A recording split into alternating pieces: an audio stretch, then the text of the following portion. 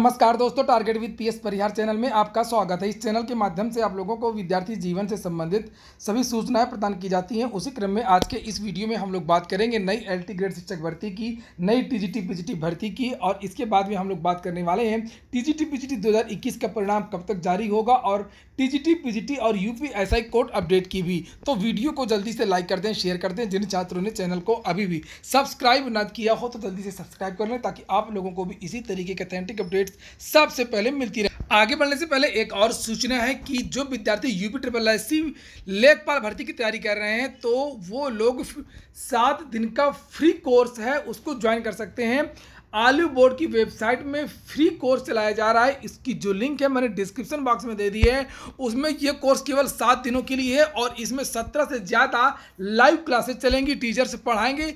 हिंदी भाषा में यहाँ पर लिखा है कि पढ़ाने का जो माध्यम है वो हिंदी है और इसी में आपको ई बुक्स भी मिलेंगी सात से ज़्यादा फ्री पीडीएफ फाइल्स भी मिलेंगी। जो लिंक मैंने आपको दी है, उसको आप लोग क्लिक करेंगे तो इस तरीके का एक पेज खुल जाएगा, जिसमें आप लोग ईमेल डालेंगे पासवर्ड डालेंगे, और अपने आप ही पूरा का जो पूरा पेज है, वो खुल जाएगा, और आप लाइव क्लासेस जो हैं, वो देख सकते हैं, उन्हें ज्वाइन कर सकते हैं। इसके लिए किसी को भी एक भी रुपए नहीं देना है। चलिए शुरू करते हैं आज की सूचनाओं को। मैंने सुबह के वीडियो में आप लोगों से बताया था कि एलटी ग्रेड शिक्षक भर्ती के लिए धरना प्रदर्शन आज शिक्षा निदेशालय में भी होगा और चयन बोर्ड में भी होगा।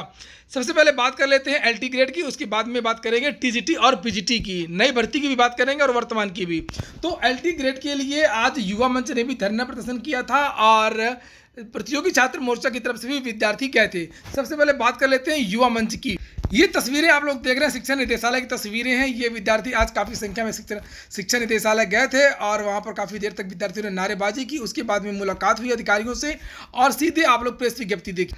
लिखा हुआ है कि पिछले चौंतीस दिन से लगातार पत्थर गिरजाघर में धरना प्रदर्शन चल, चलता रहा है और रोज़गार आंदोलन के क्रम में जैसे कि कहा गया था कि अब धीरे धीरे प्रत्येक आयोग में प्रत्येक बोर्ड में धरना प्रदर्शन होगा।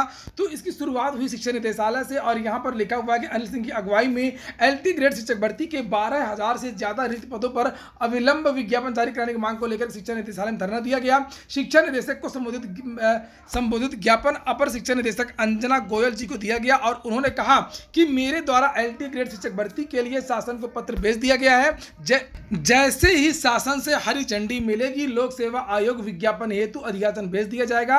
उन्होंने बताया कि एल टी कला के चरित अभ्यर्थियों की नियुक्ति हेतु पोर्टल खोलने को लेकर के संयुक्त सचिव से निर्देश मांगा गया है क्योंकि हमारी नियमावली में बीएफए की डिग्री का ज़िक्र नहीं है लेकिन एन ने इसे बी के समक्ष माना है। जैसे ही ऊपर से आदेश मिलता पोर्टल खोल करके नियुक्ति दे दी जाएगी। तो ये कला वाली बात तो गई और यहाँ पर नई शिक्षक भर्ती के बारे में लिखा पत्र शासन को भेज दिया गया है। जब शासन से हरी झंडी मिलेगी तो विज्ञापन जारी हो सकता है और यह लोक सेवा आयोग को भेज दिया जाएगा। अब आगे बाबा जाने मन की बात। तो कुल मिलाकर के सब कुछ शासन को करना है। अगली जो सूचना है, वो है प्रतियोगी छात्र मोर्चा की। प्रतियोगी छात्र मोर्चा के जो छात्र हैं, आज चयन बोर्ड गए थे। ये देख सकते हैं, वहाँ की तस्वीरें चयन बोर्ड की और इन विद्यार्थियों ने आज वहाँ पर धरना प्रदर्शन किया। उसके बाद में वार्ता भी देखिए, वार्ता का सार नए विज्ञापन को लेकर के भी और जो टीजीटी पीजीटी के जो परिणाम आना है आना है, उसके बारे में अधिकारियों ने क्या बताया? विकी खान की तरफ़ से बताया गया है, प्रतियोगी छात्र मोर्चा की तरफ़ से बताया गया। एक बार मैं फिर से आप लोगों को बता दूँ कि ये जो सूचना है, वो प्रतियोगी छात्र मोर्चा की तरफ़ से दी गई ये आप बाद में मुझसे मत कहिएगा कि सर आपने ऐसा कहा था।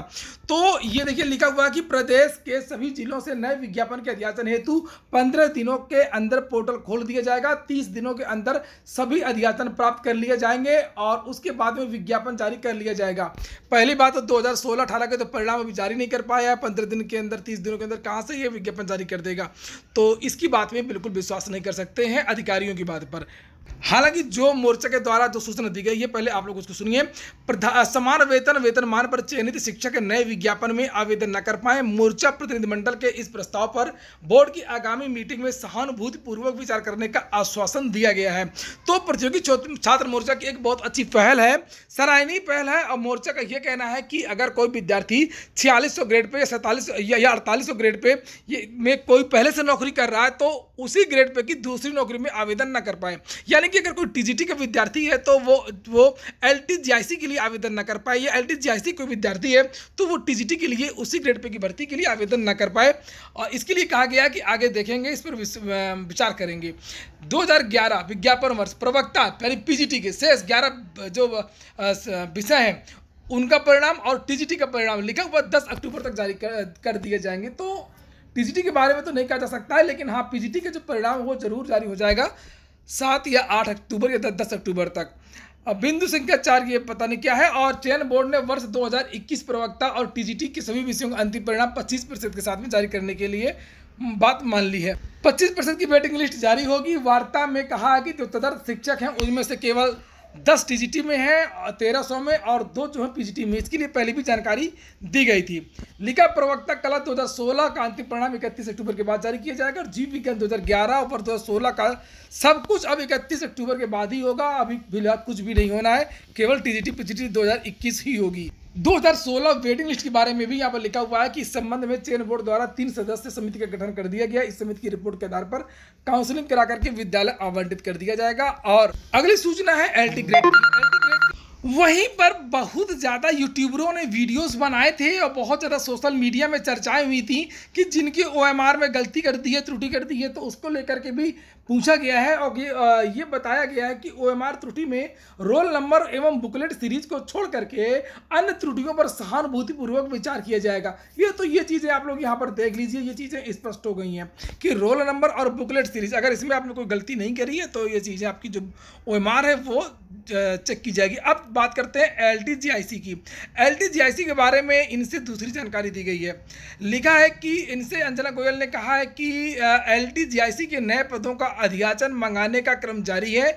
यह नवंबर तक यह कार्य संपन्न कर लिया जाएगा और नवंबर में नया विज्ञापन जारी कर दिया जाएगा। तो ये बात कही गई है शिक्षा निदेशालय के द्वारा। और थोड़ी सी बात करेंगे, अब हम लोग टीजीटी पीजीटी, दरोगा भर्ती टीजीटी पीजीटी कोर्ट अपडेट किया और दरोगा भर्ती सबसे पहले दरोगा भर्ती की बता दूँ। दरोगा भर्ती की मैंने सुबह बनाया था, लेकिन ये सूचना छूट गई थी। दरोगा भर्ती के दो केस हैं। एक तो Allahabad high court double bench में चल रहा है। कई कोर्ट कई केस हैं। एक की सुनवाई कल होनी है, यानी पाँच तारीख को होनी है, और एक की सुनवाई आठ तारीख को होनी है। हाई कोर्ट में डबल बेंच में। एक मामला सुप्रीम कोर्ट चला गया है, दीपक सिंह जो लेकर के चले गए हैं। और इन विद्यार्थियों की कोशिश है कि जल्दी से जल्दी सुनवाई हो, कम से कम स्टे हो और इन विद्यार्थियों को मौका मिले, भले प्रोविजनल प्रोविजनल मौका मिले।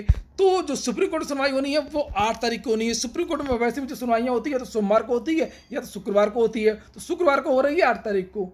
आठ तारीख को सुप्रीम कोर्ट में भी होगी, आठ तारीख को हाई कोर्ट में भी होगी। उम्र सीमा को लेकर के ये विवाद है और जो भी तारीख, जो भी अपडेट्स होंगी, वो मैं दे दूँगा हाई कोर्ट की हो, चाहे सुप्रीम कोर्ट की हो। और तो ये हो गया आज का वीडियो। और वीडियो अगर आपको अच्छा लगा हो तो लाइक अवश्य कर दें। जिन छात्रों ने चैनल को सब्सक्राइब ना किया हो तो सब्सक्राइब कर लें। एक बार मैं फिर से रिपीट कर देता हूँ कि एल टी के बारे में बताया गया है। युवा के द्वारा के शासन से मंजूरी मिलने के बाद विज्ञापन जारी कर दिया जाएगा। प्रस्ताव बना करके भेज दिया गया है। टीजीटी पीजीटी के लिए बताया गया है प्रतियोगी छात्र मोर्चा को कि इसका जो पंद्रह दिनों के अंदर पोर्टल खोल दिया जाएगा और अगले महीने नवंबर में इसका विज्ञापन जो है नई भर्ती का जारी हो सकता है। इसके बाद में परिणाम की अगर बात करें टीजीटी और पीजीटी की तो इन दोनों का जो परिणाम है वो 10 अक्टूबर के पहले पहले जारी कर दिया जाएगा, ऐसा अधिकारियों ने बताया है। ये हो गया आज का वीडियो। पूरा वीडियो सुनने के लिए बहुत बहुत धन्यवाद।